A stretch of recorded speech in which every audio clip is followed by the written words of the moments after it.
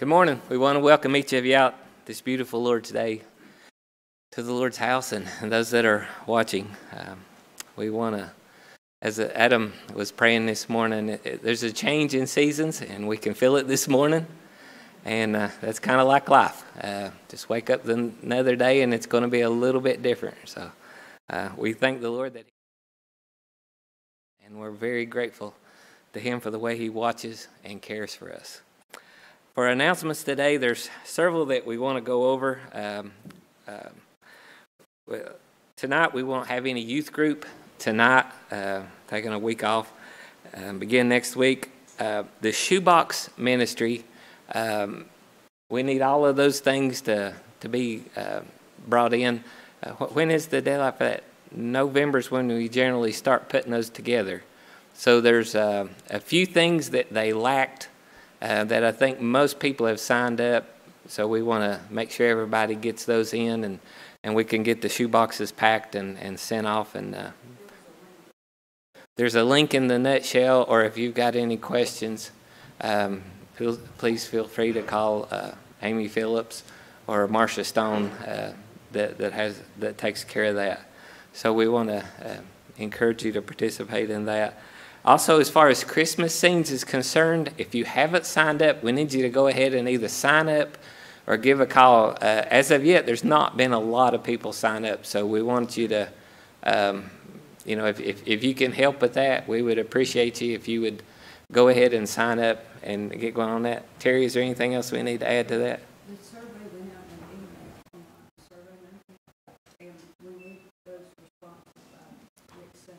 Okay, the survey went out on the Survey Monkey.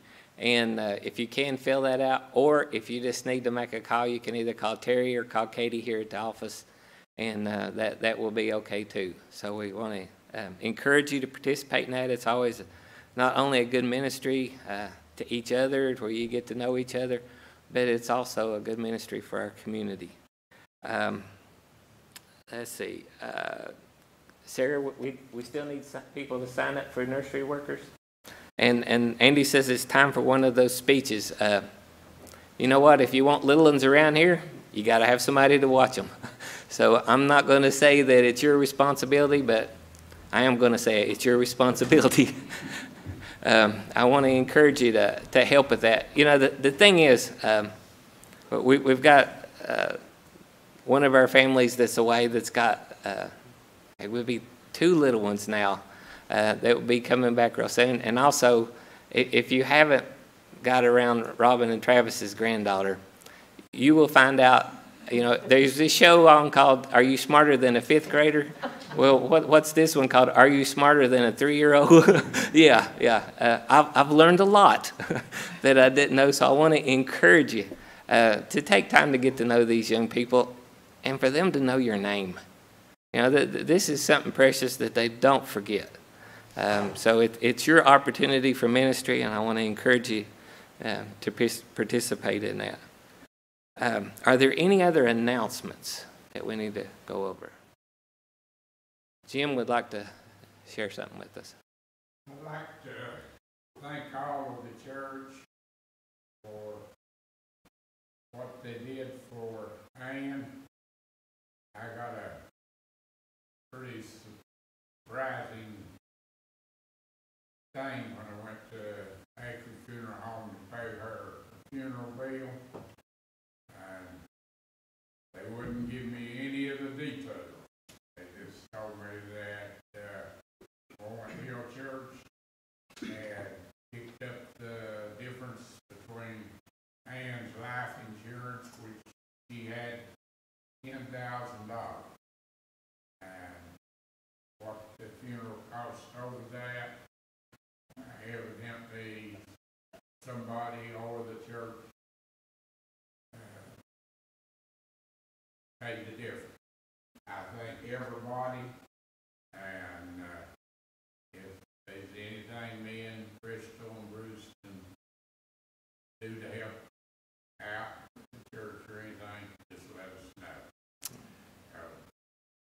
probably won't be back in church because Bruce is in Africa uh, working in a United States embassy. Mm.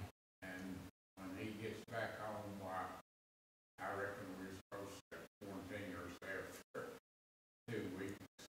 Okay. And hard enough to stay at home now. we understand that. But I thank everybody.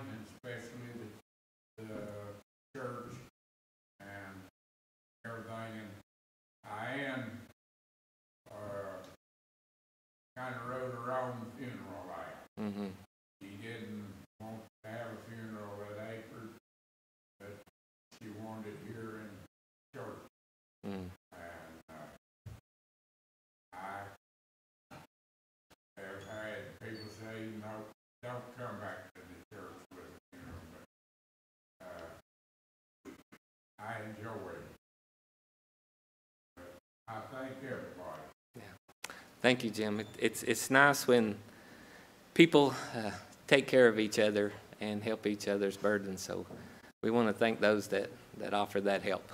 Uh, Thank you very much. And continue to pray. Um, We've got several, we had uh, the funeral service for uh, Terry's uncle, be uh, Pete Haga and Don Haga's brother yesterday. Uh, We've still got a lot of folks in our family that experienced loss this year, so we want to continue to lift those up in our prayers. Um, also, uh, let's continue to remember the friend of the snaps, Jeanette Cross. She is still on uh, vent in the hospital, but it says it's on a minimum setting, and the nurses are encouraged by what they're showing. So let's continue to be in prayer for her as she's uh, facing this battle with COVID. Also, with Dale and Madeline and, and Don and Seal as they're recovering, um, that you would uh, lift them up in our prayers and you know give them a call, contact. Uh, they love the the opportunity for fellowship there. Also, uh, my cousin uh, Faye Stead in the hospital. Um, let's continue to lift her up in prayer. She's uh, it, it's a very serious matter, so uh, pray for healing for her. And then uh, Elizabeth Phillips' sister-in-law Darlene Hart came home from rehab and she's awaiting news whether or not she needs back surgery. So let's remember that family as it's hard for them to care for her at home. We understand, uh, so help them. And then uh, one of Linda Gronsky's neighbors passed away, uh, Steve Allison. Let's be in prayer for them. Also, um, someone mentioned Janice Myers, is a friend of our church. Uh, she is still in a nursing home recovering from a stroke. Um, uh, multiple strokes. So let's remember that family as they care for her. And um, also, uh, Richard McCoy, which is Letha Hauser's youngest brother, is that right? Um, is now in hospice care. So let's remember this family. And, and, and Richard is, uh, he's going through some tough days right now. Um, also in the paper, th- this would be for those that have been here years and years ago, one of the officers of the church, J.D. McCrae, uh, passed away this week. So let's uh, remember that family. Uh, they, they moved away to South Carolina, but let's remember that, that family in our prayers. Um, and then uh, continue to pray for the 40 days of prayer uh, to end abortion. That will go through October the 31st. Let's lift up this in our prayers. Any other prayer requests? It's a long list this morning. Okay, let's go to the Lord in prayer. Lord, we thank you for this day. Lord, it's a beautiful day. It's, it's amazing. When we look out and see the change, uh, Lord, we, we pray that all of these things will point us to you. Um, just how much you love us, that, that you would give us your creation, that you would give us something beautiful to be around. Lord, also for the people that we encounter. Lord, that this is a gift that only you could give us. Lord, we are blessed by many friends. We are blessed by the benefits of their friendship. And Lord, we're also blessed to pray for them. We're blessed to reach out and help at their needs. And Lord, we're blessed to be helped by them. Lord, this is your body. This is your people. And all this is is a reflection of who you are. You are a good God. Lord, one that shows mercy beyond measure. As we're going to sing a little bit later, the goodness of Jesus has been displayed by him laying his life to meet our ultimate need. And that was life. Because, Lord, we know that in our sin we are dead. I pray, Lord, that you will give us hope through Jesus Christ, that we can rejoice, we can sing, we can celebrate, we can live, and we can share. Lord, may our worship to you today be heartfelt. Lord, may we have ears to hear what you have to share for us this day. In Jesus' name I pray. Amen. Shall we stand as we have our call to worship? Call to worship is found in Isaiah 12, 1 and 2. You will say in that day, I will give thanks to you, O Lord. For though you were angry with me, your anger turned away, that you might comfort me. Behold, God is my salvation. I will trust and I will not be afraid. For the Lord God is my strength and my song, and he has become my salvation.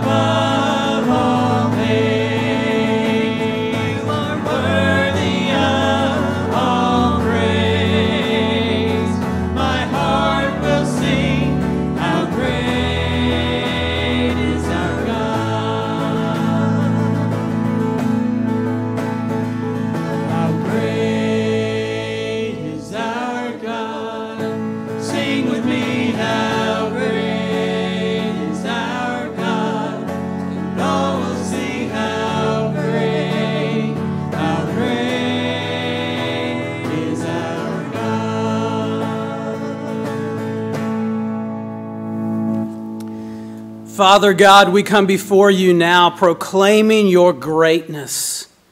You are our great God, Father, Son, and Holy Spirit. Father, in your greatness, you created all that has been created. In your great love and mercy, you pursued us in the face of our rebellion to offer your own Son in our place. Jesus Christ, God the Son, you are the greatest sacrifice for sin, the only sacrifice for sin.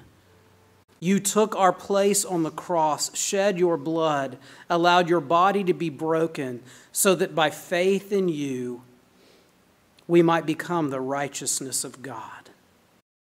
God, the Holy Spirit, you are ever at work, performing the greatness of God in our lives, making us more and more like Jesus.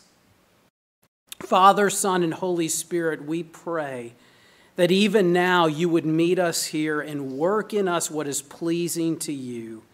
In Jesus' name, amen. You may be seated.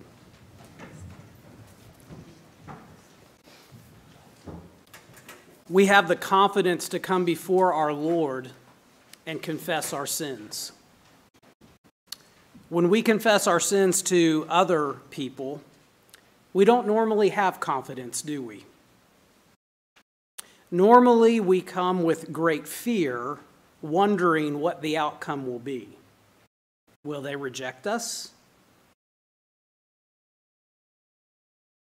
In Jesus Christ, we are not rejected.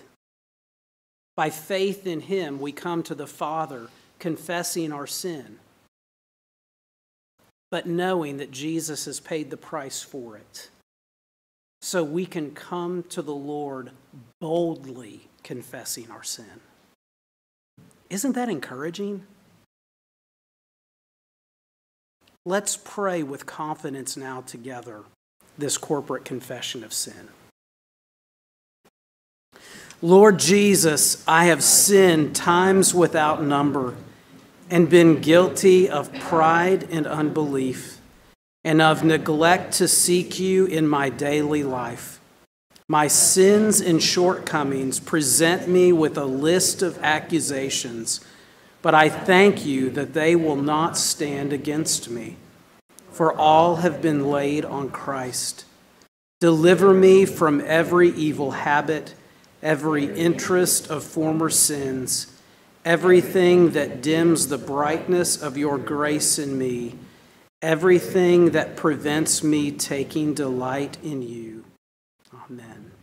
Let's take a few moments to silently confess any specific sins that the Lord has brought to mind, and then we will hear and sing a new song about the goodness of Jesus. Let's pray.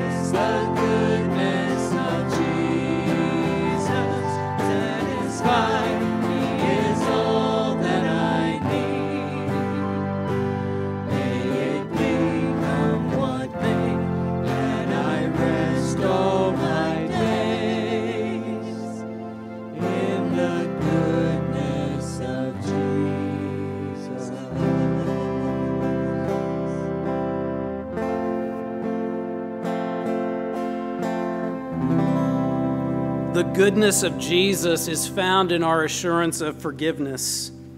In him we have redemption through his blood, the forgiveness of our trespasses according to the riches of his grace. Will you stand with me and we'll sing together to the Ancient of Days?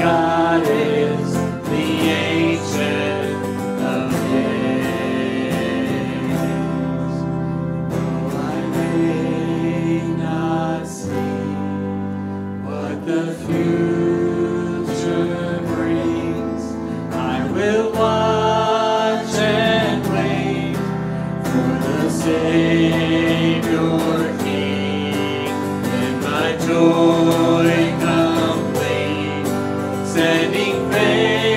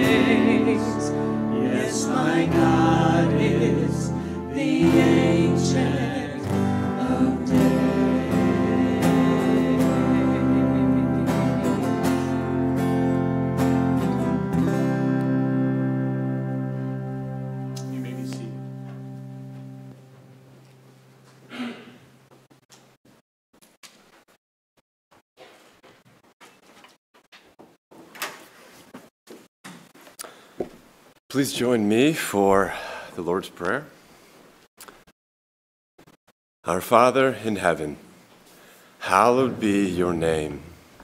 Your kingdom come, your will be done, on earth as it is in heaven. Give us this day our daily bread, and forgive us our debts, as we also have forgiven our debtors.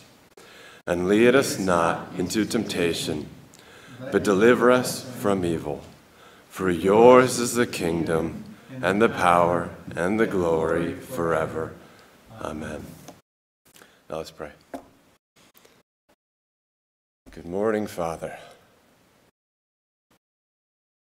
And while a day in fall may feel a little bit bleak, your affection for us is not hollow. Your interest, concern, and care for us is not blunted, is not dull, is not lacking in focus and intensity.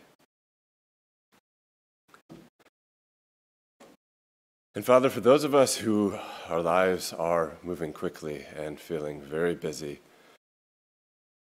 we ask that you would refresh us, that you would give us the margin, the space that we need to reorient. And we pray that you would, Father, we can't really read and pray independently of you. Like our ability to even feed ourselves spiritually depends on you. Your Holy Spirit is not some consolation prize for a good a good devotional or a week's worth of holy living or because we did things right. Your Holy Spirit is the means by which we feed ourselves is the means by which we actually have fellowship with others. May we not just rely on self effort to forge friendships and self effort to feed on your word and to get somewhere in prayer. And yet, for others of us, Lord, life is like too devoid of anything. Um, many of us now are dealing with loneliness and the onset of fall, echoes of a season of loneliness. And Father, there's a lot of things here, Father, where there is sin keeping us from meaningful relationships. Make war on that sin. Open our eyes to that sin.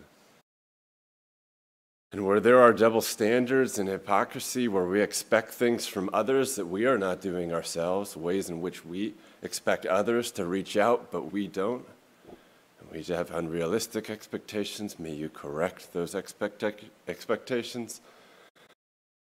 And Father, for, for many of us, our loneliness may be self imposed with, for some of us, it's realistic, for other of us, it's excessive fear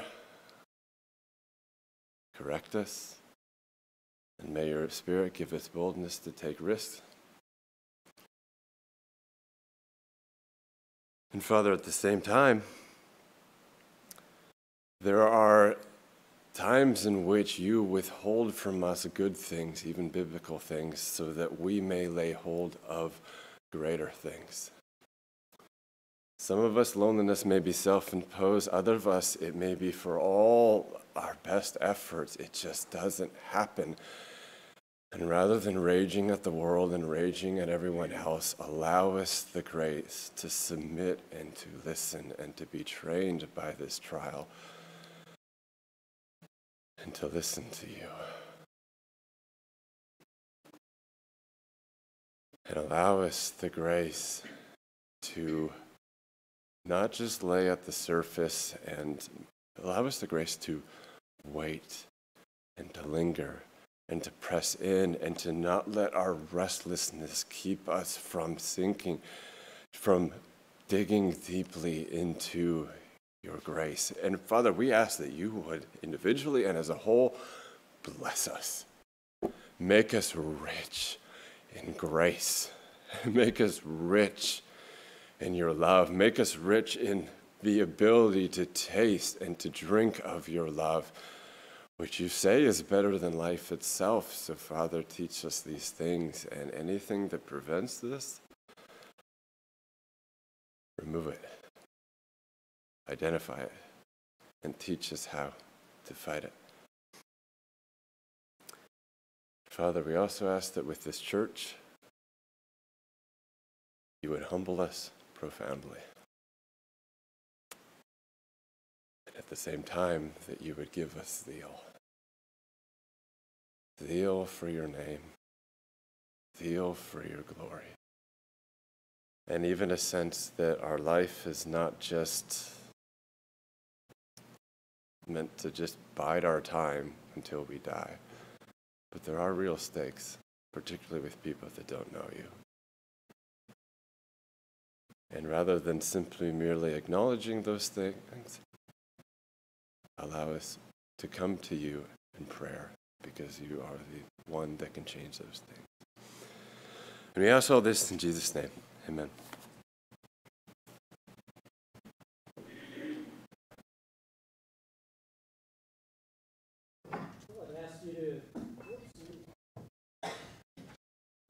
I need to ask me to turn on my microphone, and then I'll ask you to turn to John chapter 5. Uh, just to give you a, a, little bit of a heads up, the next couple of days uh, from now until uh, Tuesday sometime, or not from now, after the service today, um, Aaron Bartmus and I are going to be taking a little pastor's retreat down at Fairhaven Ministries. I had actually planned on being with a different group of pastors for the next three days uh, after the service. But that fell through because of one of our uh, friends who had a detached retina. So we're going to reschedule that time. But uh, was able to, to get in at Fairhaven, which is down by Roan Mountain, um, and uh, just have a couple of days of, of prayer and quiet and the Roaring Creek, I believe it is. Is it the Roaring Creek? Is that right? Is that, yeah, right along the edge of the, the national forest. So um, would appreciate prayer for that time and uh, if you have any, any pastoral needs, feel free to call any one of the elders. They'd be happy to help you there. So, uh, last week we ended John chapter 4, and if you'll remember, Jesus was at Cana of Galilee, which is in, in the north. And uh, now we're moving to John chapter 5. We really don't have a sense of the time frame between the end of John 4 and the beginning of chapter 5. It's not just, uh, you know, the next day he was there kind of thing, because now we have Jesus in Jerusalem. And if you'll remember from the map last week, there's about 76 miles or so between Jerusalem and Cana. So it wasn't a one day journey, it was multiple days. We, again, we don't know the time period.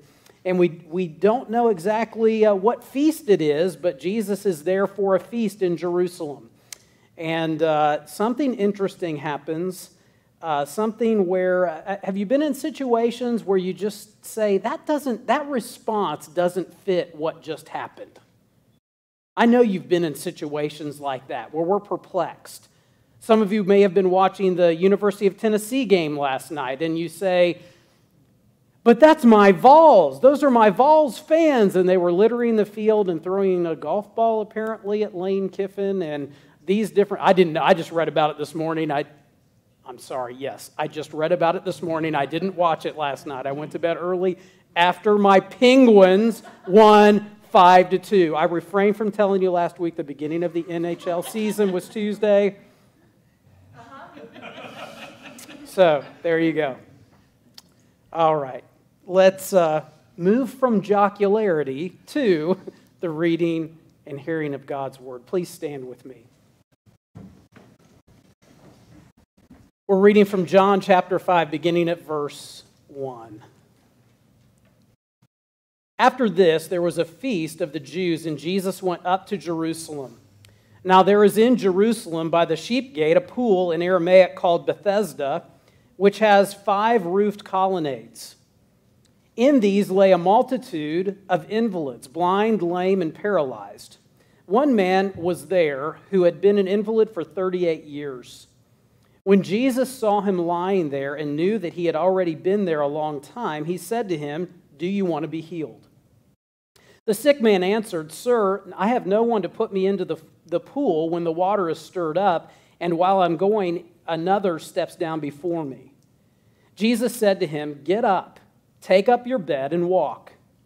And at once the man was healed, and he took up his bed and walked. Now that day was the Sabbath.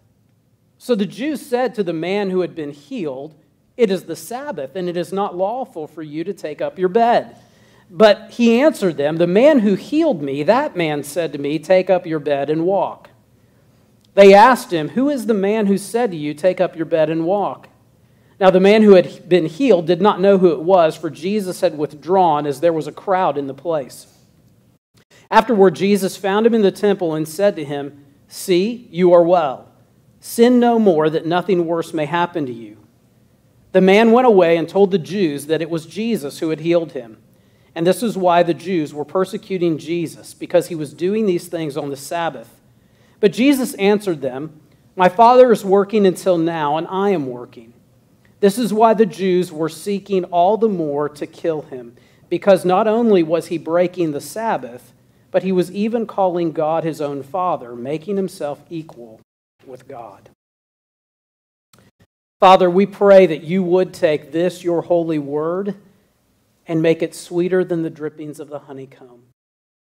May the words of my mouth and the meditations of all of our hearts be found pleasing and acceptable to you, our rock and our redeemer. Amen. You may be seated. It's well known that many modern athletes are superstitious. As an example, Michael Jordan, you may or may not have known this. You know, Michael Jordan from the 80s and early 90s helped the Chicago Bulls win six NBA championships, wore his University of North Carolina shorts under his uniform for every game. The same shorts that he wore when UNC won their national title. Serena Williams, did you know that when she comes to the, the tennis court, she actually brings her shower sandals. And that in her first serve, she bounces the ball five times, in the second serve, only two. Wade Boggs, the Major League Baseball star from back in the day, 12 time All Star, attributed much of his success to his superstitions. Every day before a game, he would eat fried chicken. He earned the name Chicken Man from his colleagues. He always took batting practice at 5:17 and running sprints at 7:17, and just before he would step up to the plate, he would write the Hebrew word chai, which means light, in the dirt. Not to be outdone by any of these other so-called major sports, but the National Hockey League Players Association voted the Pittsburgh Penguins captain, Sidney Crosby, the, just this past year as the most superstitious athlete in the sport because Crosby, and I'm only giving you some of the list, by the way, he eats the same peanut butter sandwich at 5 p.m. before every game.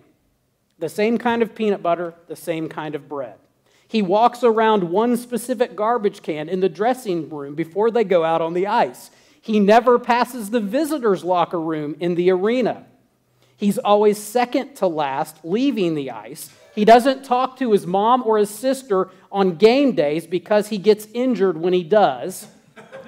And something I did notice and wondered, but now I've found out for sure he wears the same hat the entire season and never washes it.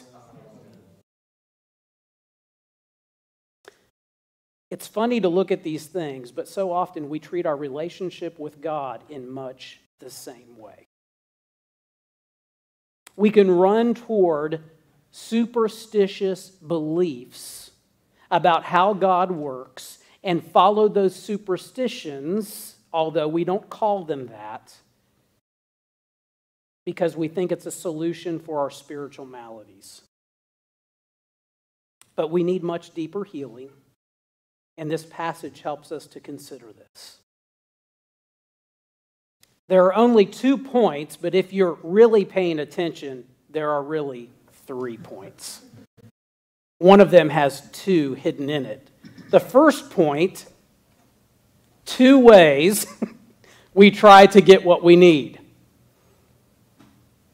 and then what only Jesus can bring. Two ways we try to get what we need and what only Jesus can bring. So, first, two ways we try to get what we need. Not the only two ways we try to get what we need, but two ways we try to get what we need. And very simply put, We follow religious superstition or extra biblical rule keeping. And we see both in this passage religious superstition and extra biblical rule keeping. So, first, religious superstition. So, Jesus is back in Jerusalem. When it says he went up to Jerusalem, we think up in terms of north and south. This is talking about the mountainous regions, okay? It went from Cana up to Jerusalem. He went there for a feast. We don't know what feast it was. John's not clear about that. And in other places, he is. So apparently, what feast it was is not that important. But what he does note is that it's on the Sabbath, and that's key.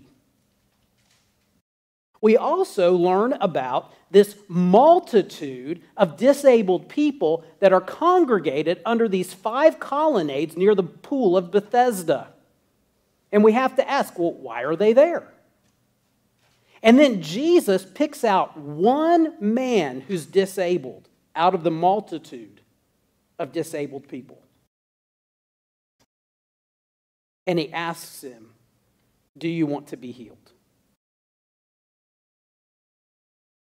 The man's illness is not defined. We don't know why he can't walk, but we know that he is lame.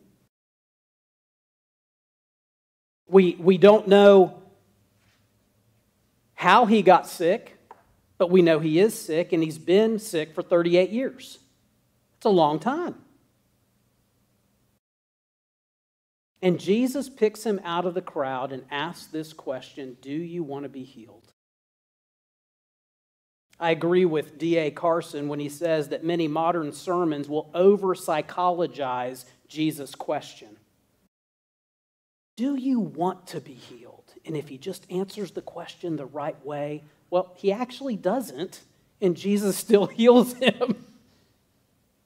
Jesus is asking him a question because I think what he's doing is trying to show this man and maybe show others what this man is relying on for healing.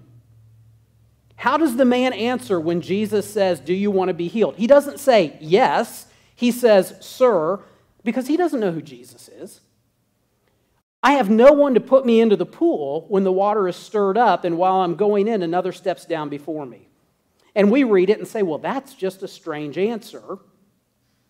But actually, what's going on is this man, like the multitude of disabled people that were there, and many, I'm sure, around the area, were steeped in religious superstition that they didn't even realize was superstition.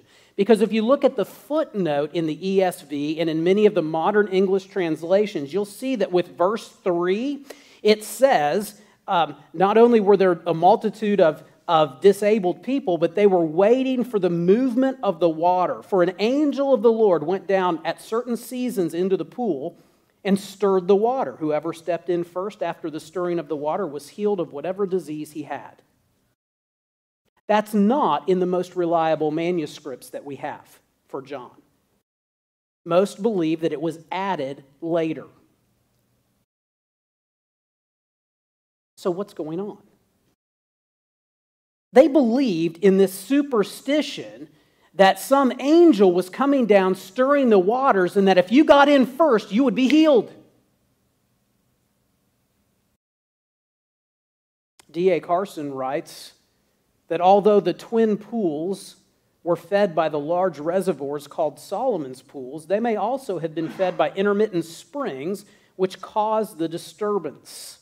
Some ancient witnesses speak of the redness of the water, popular, popularly thought to be medicinal the spring may have been a mineral spring, which would have meant that the mineral water would come in warmer than the other and stir the water. They would see a stirring. But if it seems to work, then just go with it, right? I know my kids like to like when I tell this story about when I was a, a younger person, and uh, there was a little boy that lived next door to me, and we came, we, we walked outside one uh, summer evening. It was dusk, and he was trying to catch fireflies, lightning bugs. And he was really disappointed. We didn't know he was trying to catch lightning bugs. So I said, Travis, I said, uh, not Travis Merrill, by the way, so don't pin it on him, because he's much older than me. what, two years maybe? so I, I, looked at Travis, I was like, what's wrong? He said, I'm trying to catch lightning bugs and I can't catch any. And I said, well, show me what you're doing. So he ran around the yard. He was trying to catch lightning bugs. I said, Well, you're doing it wrong. What you need to do is you need to walk around the, run around the yard going, and when you stop, there's going to be more lightning bugs than you can count, and you can take as many as you want. Well, guess what? He ran around the yard. He stopped, and there were lightning bugs, and he grabbed them. All summer long at dusk, we heard Travis. His dad was not happy with me. But it seemed to work. And sadly, that's what happens with our religious superstitions. We just think, and we don't call them superstitions. We just say, well, I know.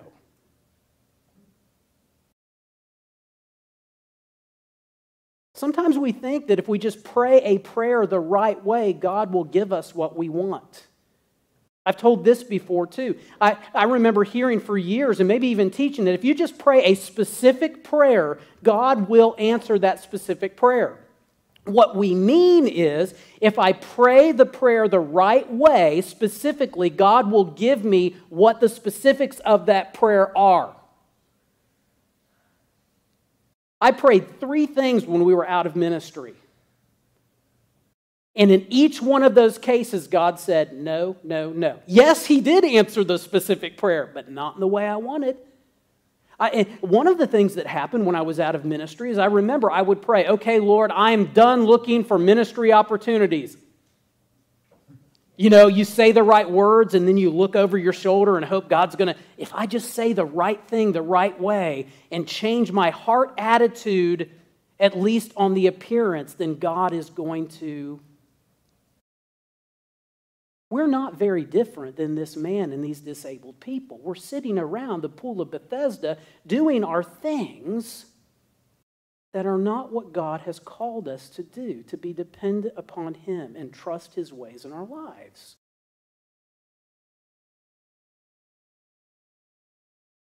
It's just too easy, isn't it, to say if I, I pray a certain prayer and maybe I pray the same thing over and over again, almost like a mantra, God is going to do something? Or if the right person prays for me. I mean, I cannot tell you how many times no matter where we've lived in the country, when somebody finds out I'm a pastor, well, you need to pray for me because you've got a direct line to God. Guess what? Everyone who's in Christ has the same direct line that I do. Exactly the same.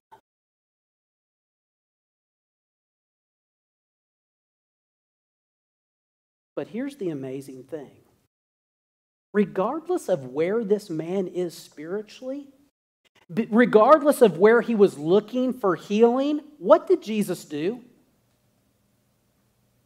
He said, Get up, take up your bed, and walk. He healed him. Jesus is not bound by any religious superstition and he's not bound by the depth or lack of our faith in him to do his thing. He's going to do his work. That's good news. He's proving to this man that he doesn't need religious superstition, he needs the power of Jesus.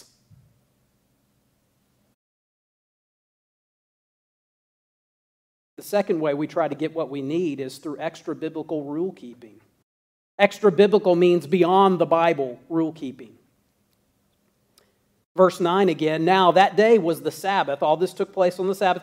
So the Jews said to the man who had been healed, It is the Sabbath, and it is not law for you, lawful for you to take up your bed. Now remember, it's easy for us. We know about this man, we know about Jesus, but remember, it's Jerusalem. They're just north of the temple gate, the sheep gate. Lots of people are there, multitudes of disabled just in that area. The temple courts were a very busy place. The man loses track of Jesus.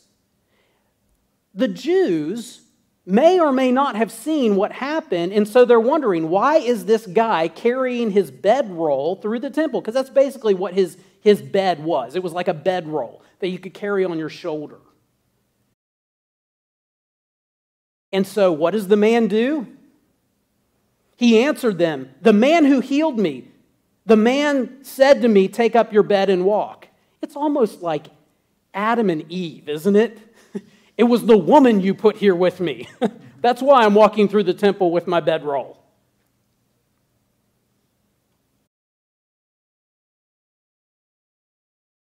They asked him, Who is this man who said to you, Take up your bed and walk? Now, the man who had been healed did not know who it was, for Jesus had withdrawn, and there was a, as there was a crowd in the place.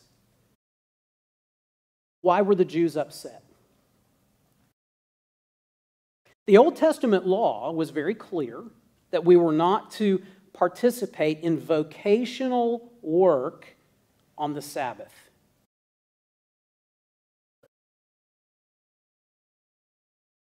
But the traditions and the teachings added to that extra biblical. Rabbinical traditions, Pharisaical teachings, Craig Keener writes that Jewish people held some views of the Sabbath universally, but, in, but many, including the Pharisees, recognized diverse interpretations of Sabbath practice. Their laws, their traditions went beyond what the Bible did, and part of that was you don't do any kind of anything that would be considered work. I just thought about this. The Lawsons got a new refrigerator a few months ago, and what was the new mode on, their, on your refrigerator? The Sabbath mode. The Sabbath mode means that things begin to shut down while conserving the coolness in the refrigerator so that even the refrigerator doesn't have to do work on the Sabbath.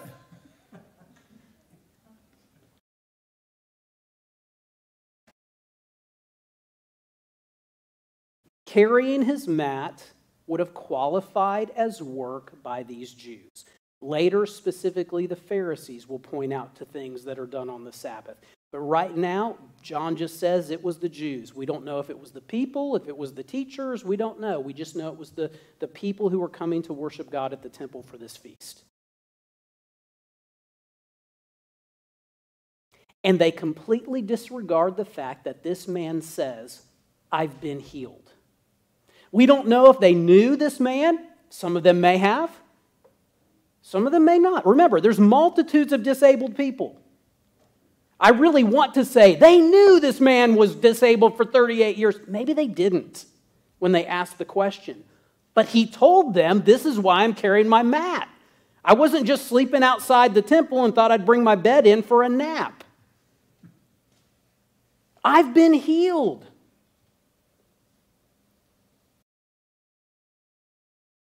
You see, the Jews' problem is that they believed that by following religious rules, God would be pleased with them and they would become acceptable to God.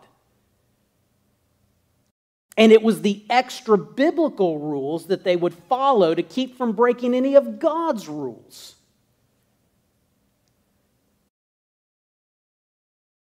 And if you didn't follow the extra biblical rules, then obviously God would condemn you.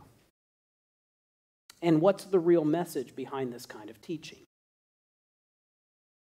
If you do the right things and avoid the wrong things according to our rules, then you will have a right relationship with God. That's what this is teaching. Well, you can't have a right relationship with God and carry a bedroll through the temple.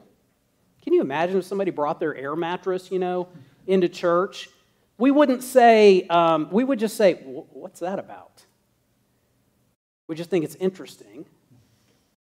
But we probably wouldn't say you don't have a right relationship with God because you're carrying your air mattress into the sanctuary. That's what's going on there. But we can think about all kinds of extra biblical rules that we have grown up in, or maybe that we are, are uh, wrestling with now that God reveals to our hearts? I mean, is there certain food or drink that we say is forbidden that goes beyond the scriptures? Yes. Are there certain actions, activities that we say if you do or do not do these things, then you can't possibly have a right relationship with God? we can come up with a laundry list, and we have in the past. You see, both of these approaches, whether it's, it's religious superstition or extra biblical rule keeping, both of them kind of center uh, upon the same problem, and the problem is us. That we try to add to what God has revealed, whether it's some kind of superstitious types of belief that will never bring us what we really want, or extra biblical rule keeping to make us acceptable in certain religious circles. But neither will bring us into or remove us from a relationship with God.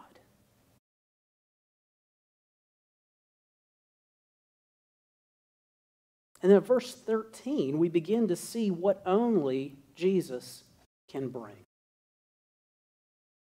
Verse 13.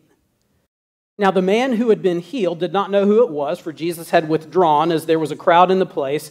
Afterward, Jesus found him in the temple and said to him, See, you are well. Sin no more, that nothing worse may happen to you. The man went away and told the Jews that it was Jesus who had healed him. This is that moment where you go, Okay, wait, what did you just do? Why did you go tell them? This shouldn't be the response. But what we see in this moment is that Jesus brings healing of his own accord. It's not dependent upon this man's faith or his response. Because he didn't have faith in Jesus, and his response was horrible. He ran and told on Jesus. It was that guy. He was just healed after 38 years of not being able to walk. And his first response is to tell on Jesus.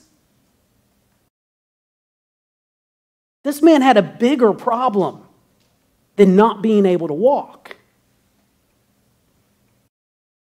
This man is not the example of a good response to God's work in his life.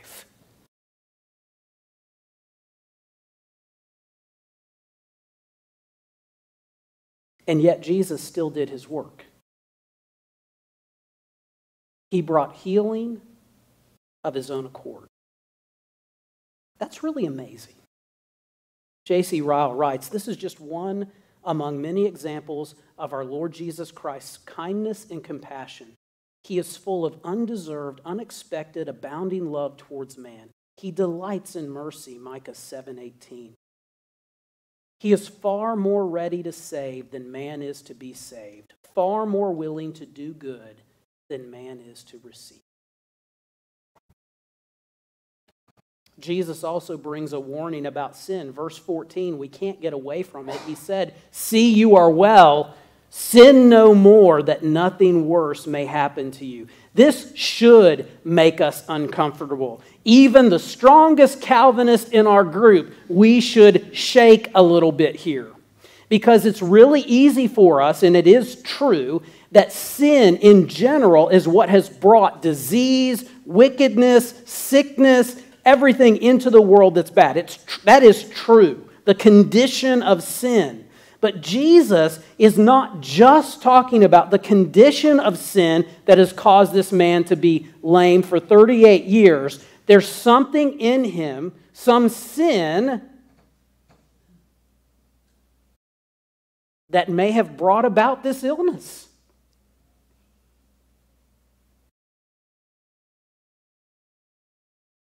But only God's the one who can ascertain that. We can't. But even if Jesus isn't specific, spe- speaking of a specific sin that caused this man to be ill, he is pointing to something that we all need to hear an ultimate problem. Carson writes Although suffering and illness have this deep theological connection with sin in general. And although John elsewhere insists that a specific ailment is not necessarily the result of a specific sin, such as in John 9, which when we get there, we'll see quite a contrast of responses and what happens. There is nothing in any of this that precludes the possibility that some ailments are the direct consequences of specific sins. And this is the most natural reading of this verse. If so, it is just possible John is also telling us that, G- that the reason Jesus chose this invalid out of all the others who were waiting for the waters to be stirred was precisely because his illness and his alone was tied to a specific sin. If this interpretation is right, the syntax of stop sinning is chosen to stress urgency, that something worse is the something worse of final judgment.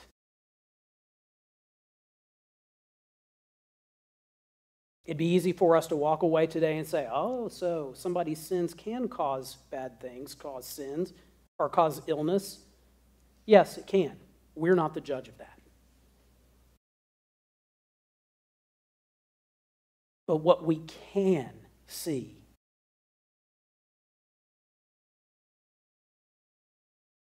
is that there is a real final judgment.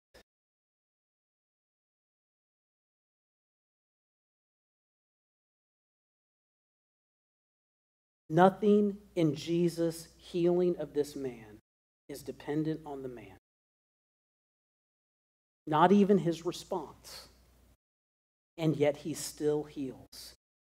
And he still teaches us that ultimate healing is our right relationship with God. That there is an ultimate day. And if we remain in our sins, we will not see that day with Jesus. We will be cast away from him. You see, Jesus came to bring the thing that neither religious superstition nor extra biblical rule following can bring. He says in verse 16, or John writes in verse 16, and this is why, because of all this that has happened, this is why the Jews were persecuting Jesus, because he was doing these things on the Sabbath. But Jesus answered them, My Father is working until now, and I am working. Verse 18 This is why the Jews were seeking all the more to kill him, because not only was he breaking the Sabbath, but he was even calling God his own Father, making himself equal with God. And we'll look more at this when we look at the rest of chapter 5. What is the Father sending the Son to do on his behalf? What is the work of the Father that he has sent Jesus the Son to do? He, he sent Jesus to bring healing to our relationship with the Father. That's his ultimate work. That's why he's here. The Father's work for Jesus is to bring reconciliation through the blood of his cross. Every healing, every miracle that Jesus does is pointing to the power of God because he is the power of God. He is God himself who alone has the power to conquer sin and death. Our condition is far worse than being unable to walk. So was this man's. We are spiritually dead. And Jesus came to do the work of God, to bring healing for our spiritual death. And in this passage, we see something amazing. Jesus meets you where you are. Jesus meets you where you are. Jesus did not allow this man's lack of faith or horrible response to get in the way of his work. Guess what that means for you and me? I, I was thinking, uh, as I've been working on this sermon, I'm like, I just don't have a good closing illustration. I really want to have one. And, you know, good preachers, you focus on all. And I'm thinking, no, you are the illustration. I'm the illustration. We're a mix of religious superstition and extra biblical rule following. We all have it. It's all part of us because we're trying to do for ourselves what we think God can't do on his own. And Jesus is proving here I am God the Son. I have the power to heal someone, and he doesn't even get it. Guess what? When Jesus claims us for himself, when he heals us, not from being lame, not from being blind or sick, but heals us spiritually, we don't really know what's going on. And yet, he saves us. And he sends his spirit to work in us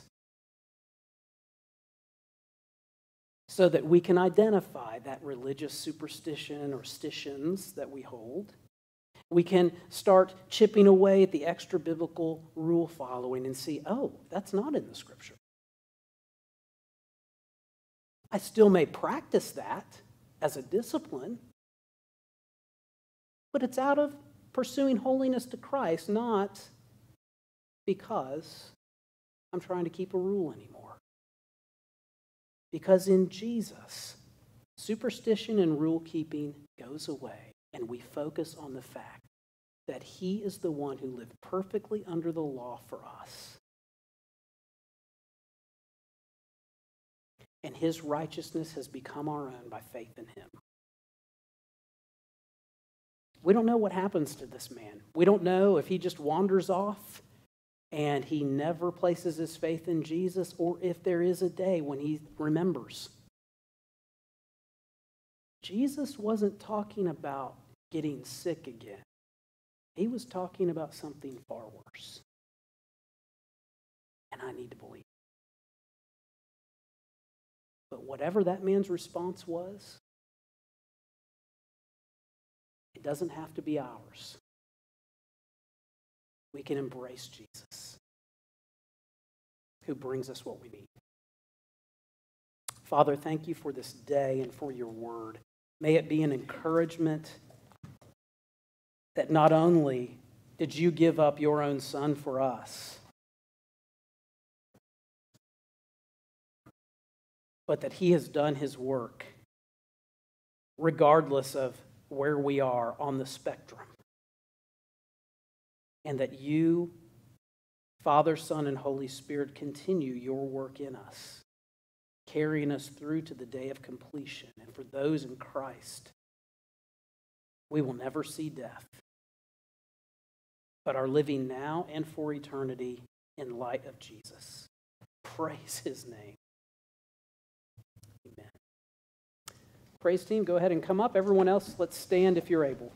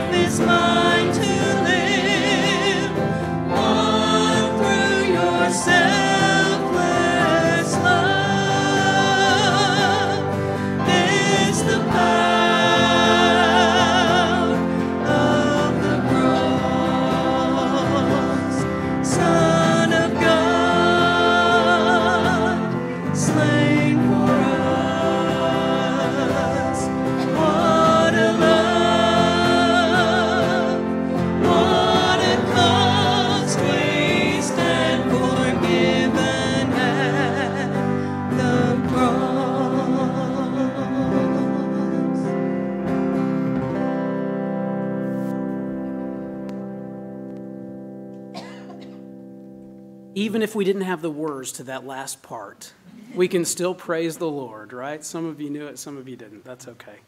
We'll get it right the next time. Now receive the Lord's benediction. Now may the grace of our Lord Jesus Christ, the love of God the Father, and the fellowship of the Holy Spirit be with you now and forevermore. Amen. Go in his peace.